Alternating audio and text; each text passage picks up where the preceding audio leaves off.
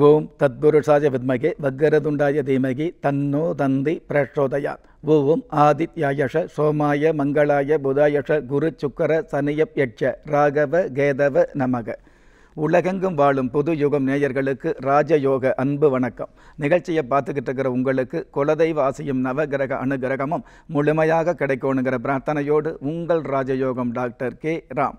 Astro three sixty நிகழ்ச்சியில் இன்றைக்கி நம்ம பார்க்க போகிறது அதாவது கடந்த வார நிகழ்ச்சியில் வந்து பெரியவங்களுக்கு தீபம் ஏற்றக்கூடியது அதாவது முன்னோர்களுக்கு சான்றோர்களுக்கு மறைந்தவர்களுக்கு மறைந்தாலும் உங்களுடைய நெஞ்சில் நிறைந்திருக்கிறவங்களுக்கு அந்த மாதிரியான பெரியவங்களுக்கு அமர தீபம் ஏற்றுவது எப்படி? அந்த மாதிரி பெரியவங்கள் வந்து எந்த மாதிரி வழிபாடு வச்சுக்கணும். எந்தெந்த திதிகளில் முக்கியமாக பெரியவங்களை நினச்சி நீங்கள் வந்து அந்த பெரியவங்களுடைய ஆசீர்வாதத்தை வாங்கிக்கிற விஷயத்தை நிறைய நிறைய விஷயங்களை வந்து நம்ம சொல்லியிருந்தோம். அதில் வந்து நிறைய பேர் கேட்குற கேள்வி அந்த நிகழ்ச்சியை வந்து பாராட்டுறது மட்டும் இல்லாமல் நிறைய தெரியாத விஷயங்களை தெரிஞ்சுக்கிட்டாங்க சார். அந்த மாதிரி இருக்கும் பொழுது இந்த திதி கொடுக்கறது அப்படிங்கிறது வந்து எனக்கு இது வரைக்கும் தெரியாமல் போயிருந்தது. ஏன்னா அவர் வந்து இறந்த அந்த மறைந்த அந்த தேதியை நான் சரியாக கணக்கில் கணக்கில் வச்சுக்கல. அப்படி தெர அந்த மறைந்த தேதி தெரிஞ்சிருந்தால் கூட சரியான அந்த தேதியில் த சரியான அந்த நேரத்தில் வந்து என்னால் திதி கொடுக்க முடியல. அப்போ பெரியவங்களுக்கு திதி கொடுத்து தான் ஆகணுமா? திதி கொடுக்கறதுனால என்ன நன்மை? ஒரு சமயம் திதி கொடுக்காமல் இருந்தால் நமக்கு ஏதாவது ஆபத்தா? அப்படிங்கிற கேள்வியை யதார்த்தமாக வெகுளியாக நிறைய பேர் கேட்டிருக்கீங்க. கண்டிப்பாக திதி கொடுத்தால் நல்லதுங்கிற விஷயத்தை சாஸ்திரம் சொல்லி வச்சுருக்குது. அதே மாதிரி இந்த சமய சாஸ்திர சடங்குகளை படி இந்த திதி கொடுக்காமல் இருந்தால் கெடுதல்னு கிடையாதுங்க. அதாவது கெட்டதுன்னு கிடையாது. இது செய்யாமல் இருந்தால் சாமி கண்ணை குத்தி போடும். இது செய்யாமல் இருந்தால் பாம்பு வந்து கண்ணை குத்தி போடும். இது செய்யாமல் இருந்தால் கோழி வந்து உங்களை குத்தி போடுங்கிற மாதிரி சாஸ்திரம் உங்களை பயமுறுத்தலை. இதையெல்லாம் செய்யுங்க அப்படிங்கிற விஷயத்தை தான் மறைமுகமாக சொல்லி வச்சுருக்குது. ஏன்னால் இந்த உலகத்தில் வாழ்கிறதுக்கு நம்ம வந்து ஒரே ஒரு விஷயத்தை மட்டும் கையில் எடுத்துக்கிட்டால் வாழ முடியுங்கிறது கண்டிப்பாக கிடையாது. நம்ம எல்லோருமே நினைக்கிறது பணம் ஒன்று இருந்தால் போது வாழலாம்னு நினைப்போம். ஆனால் பணம் இருந்தால் நோய் வருது. நோய் இருந்தால் வேறு திறமை இல்லாமல் இருக்குது இருக்கிற பணத்தை காப்பாற்றிக்கிறதுக்கு திறமையோ வீரமோ இருக்க வேண்டியது இருக்குது அதாவது ஒன்றை சார்ந்து ஒன்று இருந்துகிட்டே இருக்குது. ஒரே ஒரு விஷயத்தால் மட்டும் இந்த உலகத்தில் வாழ முடியாதுங்கிற விஷயத்தில் நீங்கள் உறுதியாக இருந்துட்டுருங்க. அப்போ இந்த உலகத்தில் வந்து வாழ்நாள் முழுவதும் வாழ்ந்து ஜெயித்து காட்டணும் அப்படின்னா அல்லது இந்த வாழ்நாள் முழுவதும் வரக்கூடிய கஷ்டங்களை வந்து நம்ம சகிச்சு வாழணும் அப்படின்னா அதற்கு நிறைய விஷயங்கள் நிறைய திறமைகள் நிறைய தான தர்மங்கள் நிறைய ஆன்மீக சம்மந்தப்பட்ட விஷயங்களை வந்து நம்ம கடைப்பிடிக்கணுங்கிற விஷயத்தை இந்த நேரத்தில் உங்களுக்கு தெரியப்படுத்தினேன் அந்த வகையில் எத்தனையோ ஆயிரத்தெட்டு கணக்கான ஆயிரத்தெட்டு விஷய விஷயங்கள் இருந்துகிட்டு இருந்தால் கூட உங்களுடைய ஜாதி சமய அந்த சடங்குகளை அதாவது வம்சாவளி சடங்குகளுக்கு மதிப்பு கொடுக்கணுங்கிற விஷயத்தை நீங்கள் உறுதியாக இருந்துட்டுருங்க. என்னுடைய தினப்பல நிகழ்ச்சியில் கூட அடிக்கடி சொல்லிக்கிட்டு இருப்பேன். அதாவது எந்த ஒரு ராசியாக இருந்தாலும் எந்த ஒரு நட்சத்திரமாக இருந்தாலும் எந்த நாளாக இருந்தாலும் உங்களுடைய வம்சாவளி சடங்குகளுக்கு முக்கியத்துவம் கொடுங்க அப்படிங்கிற விஷயத்தை மிக மிக முக்கியமாக உறுதியாக அறுதிட்டு சொல்லிட்டு இருக்கிறேன் அந்த வகையில் என்னுடைய வெளிநாட்டு சம்மந்தப்பட்ட ராசி பலனில் கூட இந்த கடந்த பதினெட்டு வருஷங்களாக மலேசியாவில் கனடாவில் யூரோப் கண்ட்ரி சம்மந்தப்பட்ட விஷயங்களுக்கெல்லாம் இந்த ராசி பலன் போயிட்டு இருக்குது எண்கணித பலன் கொடுத்துக்கிட்டு இருக்கிறேன் அதில் எல்லோருக்குமே நான் சொல்லக்கூடிய விஷயம் அதாவது வம்சாவளி சடங்குகளுக்காக நீங்கள் வளைஞ்சு கொடுங்க. வம்சாவளி சடங்குகளை வந்து நீங்கள் குறை வைக்காதீங்கன்னு சொல்லும் பொழுது நம்ம நாட்டை விட வெளிநாட்டில் உள்ளவங்க கூட அவ்வளவு அக்கறை எடுத்து சிரத்தை எடுத்து சரியான நேரத்தில் திதி கொடுக்குறாங்க அப்படிங்கிறது தான் உண்மையான விஷயம். அந்த மாதிரியான விஷயங்களில் நம்ம நாட்டில் நிறைய பேர் திதி கொடுக்க ரெடியாக இருந்துகிட்ருக்குறோம் ஆனால் திதி கொடுக்கக்கூடிய அந்த விஷயத்தில் நிறைய பேருக்கு குழப்பம் இருக்குது அப்படிங்கிறது தான் உண்மையான விஷயம். அதாவது இந்த திதி கொடுக்கறது அப்படிங்கிறது அந்த பெரியவர் இறந்த தேதியில் கொடுக்கறதா? அல்லது அவர் இறந்த திதி இருக்கும் இல்லையா? அந்த திதியில் கொடுக்குறதா? அல்லது அவர் இறந்த நட்சத்திரம் வரும் அந்த நட்சத்திரத்தில் கொடுக்குறதா அப்படின்னு? அதாவது ஒருவர் இறந்த தேதி திதி நட்சத்திரம் மூன்றுமே ஒரே மாதிரி அடுத்த வருஷம் வராது. ஏதாவது ஒன்று மாறுபட்டிருக்கும். ஒன்று திதி மாறி இருக்கும் அல்லது தேதி மாறி இருக்கும் அல்லது நட்சத்திரம் மாறி இருக்கும் இந்த மூன்றுமே ஒன்று சேர்ந்து வர்ற மாதிரி வராது. அப்படி வர்றதுக்கு முப்பது வருஷத்துக்கு மேலே ஆகும் அப்படி இருக்கும் பொழுது ஒருவருடைய தேதி திதி நட்சத்திரம் எதை முக்கியப்படுத்தி நாம் வந்து இந்த திதி சம்மந்தப்பட்ட விஷயங்களுக்கு உண்டான விஷயங்களை சடங்குகளை செய்கிறது திதி தர்ப்பணம் கொடுக்கறது அப்படிங்கிற கேள்வி உங்களுக்கு இருக்கும். அது சந்தேகமாக வந்துட்டுருக்கும். அந்த வகையில் நீங்கள் வந்து இந்த மூன்றில் ஏதாவது ஒன்று எடுத்துக்கலாம். அதாவது அவர் இறந்த திதி வந்து முதல் காரணமாக இருந்துகிட்ருக்குது அந்த திதிங்கிறது அதே தேதி வராது.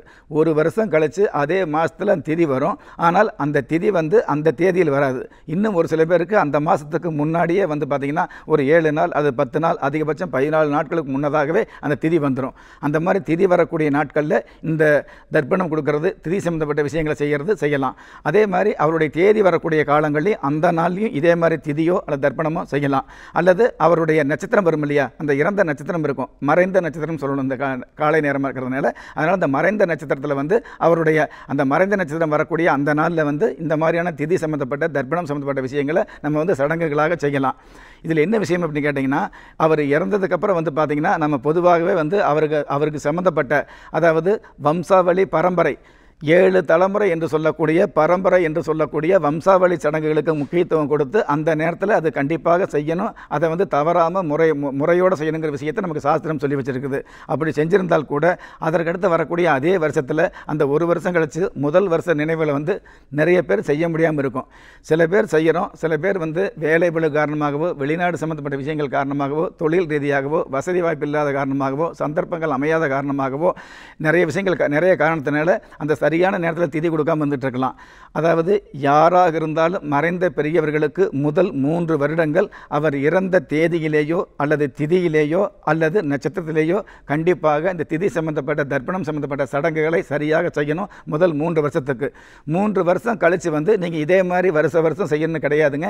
மூன்று வருஷம் கழித்து அவர் இறந்தது எந்த திதியாக இருந்தாலும் எந்த தேதியாக இருந்தாலும் எந்த நட்சத்திரமாக இருந்தாலும் மாகாளய அமாவாசை வரக்கூடிய அந்த அமாவாசையில் தர்ப்பணம் கொடுக்கறது திதி சம்மந்தப்பட்ட சடங்குகளை செய்கிறது மிக மிக சிறப்பாக இருந்துட்டு இருக்குது அப்படிங்கிறது தான் பொதுவான விஷயம். இன்னும் சில பேருக்கு வந்து மறைந்த முன்னோர்கள் அதாவது தாத்தா பாட்டி சம்மந்தப்பட்ட கொள்ளு தாத்தா கொள்ளு பாட்டி சம்மந்தப்பட்ட அந்த மறைந்த தேதியோ திதியோ நட்சத்திரமோ தெரியாமல் இருந்தாலும் நீங்கள் பயப்பட வேண்டாம். நீங்கள் கண்ணை மூடிக்கிட்டு கோயம்புத்தூர் இருக்கக்கூடிய அந்த பேரூர் சம்மந்தப்பட்ட கோயிலில் அந்த பேரூர் கோயிலில் வந்து ஒரே ஒரு முறை இந்த மாதிரியான திதி சம்மந்தப்பட்ட விஷயங்களை தர்ப்பணம் சம்மந்தப்பட்ட விஷயங்களை சரியாக செஞ்சுட்டு அதற்கடுத்து வரக்கூடிய இந்த அமாவாசை அதாவது மகாலய அமாவாசைன்னு சொல்கிறோம் இல்லையா? இந்த மாகாளய அமாவாசை நாட்களில் வந்து இந்த திதி தர்ப்பணம் கொடுக்கறது மிக மிக சிறப்பாக இருந்துட்டுருக்கும். அதில் எந்த ஒரு குறையும் இருக்காது.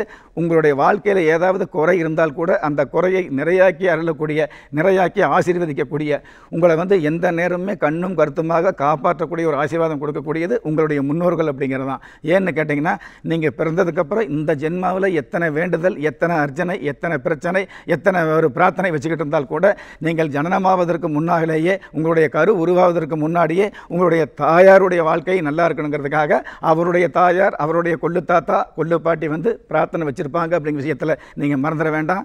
அந்த பிரார்த்தனையெல்லாம் ஒன்று சேர்ந்து நீங்கள் என்னதான் மொங்கா மொங்கான்னு பிரார்த்தனை பண்ணினாலும் உங்களுடைய முன்னோர்கள் எல்லாம் ஒன்று சேர்ந்து பண்ணக்கூடிய அந்த கூட்டு பிரார்த்தனைக்கு நிச்சயமான பலன் உண்டு அப்படிங்கிற விஷயத்தை நீங்கள் தெரிஞ்சுக்க முடியும்.